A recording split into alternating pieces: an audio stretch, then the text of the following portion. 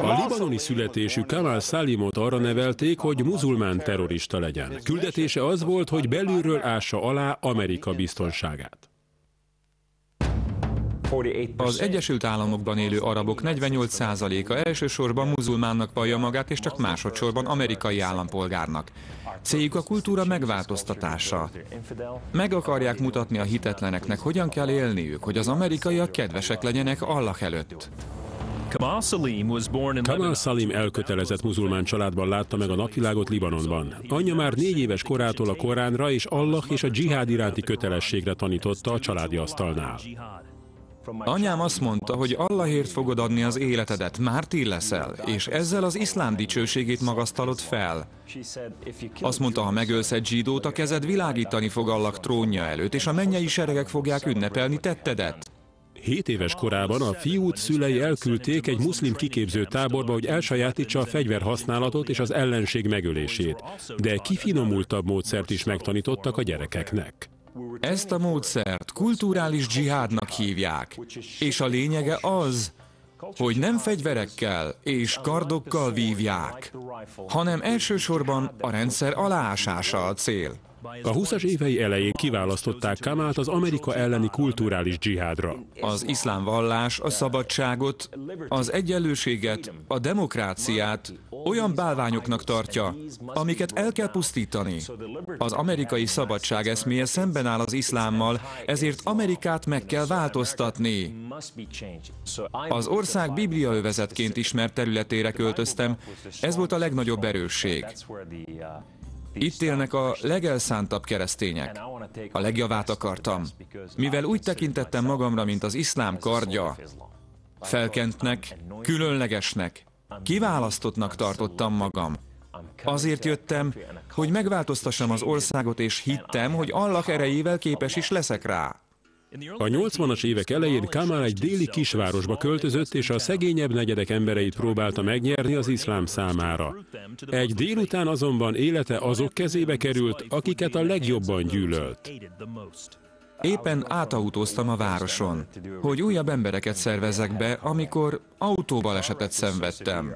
Az ütközés annyira erős volt, hogy kirepültem a kocsiból. Két helyen eltört a nyakcsigolyám.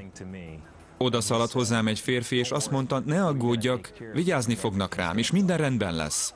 A rohamentő beszállított a kórházba, ahol a baleseti sebész bejött a szobába, megnézte a papírokat, és azt mondta, ne aggódj, fiam, vigyázni fogunk rád, minden rendben lesz.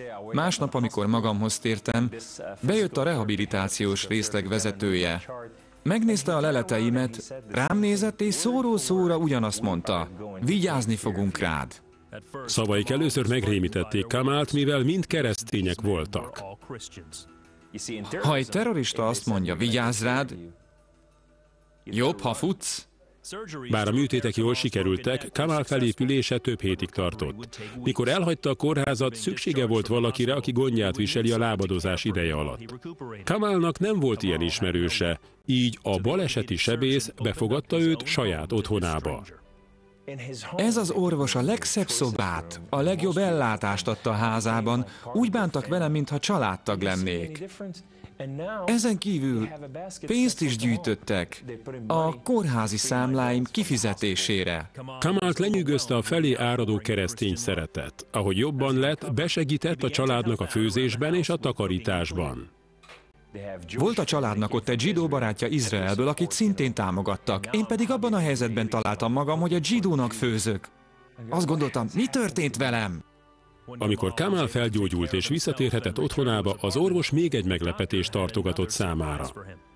Itt egy kulcs a házhoz. Bármikor szívesen látunk, és ezek itt az új kocsit kulcsai. Szeretnénk megáldani téged ezzel.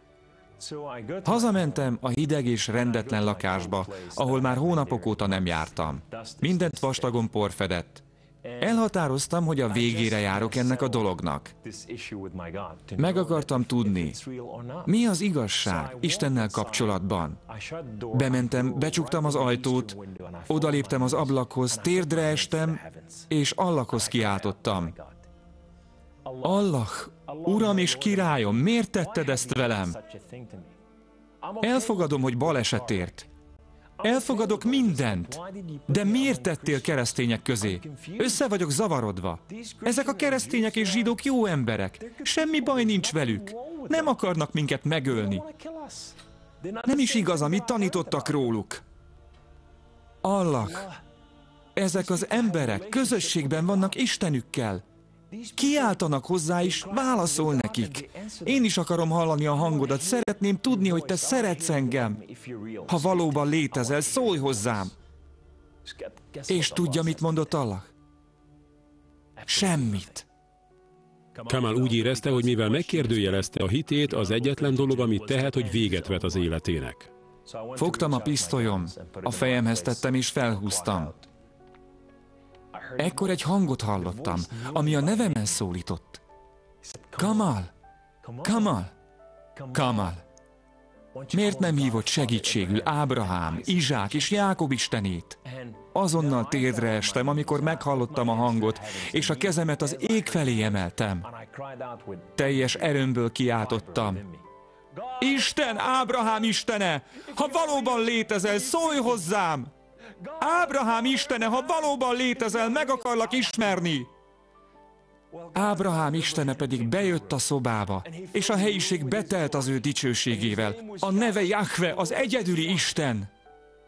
A kezein és a lábain ott a szögek helye. A neve Jézus.